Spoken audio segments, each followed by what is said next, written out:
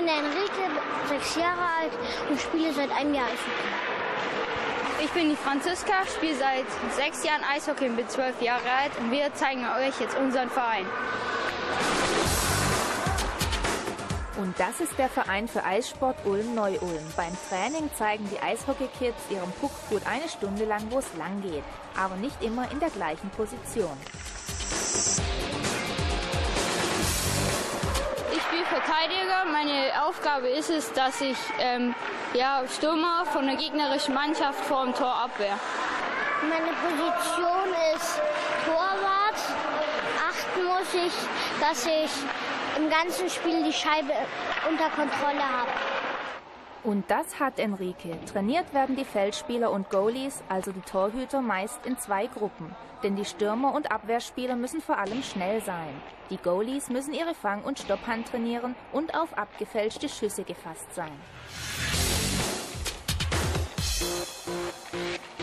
Beim Eishockey macht mir Spaß, ähm, die Schnelligkeit und dass man auch mal richtig ran kann. Man ist halt sehr wichtig für die Mannschaft. Äh,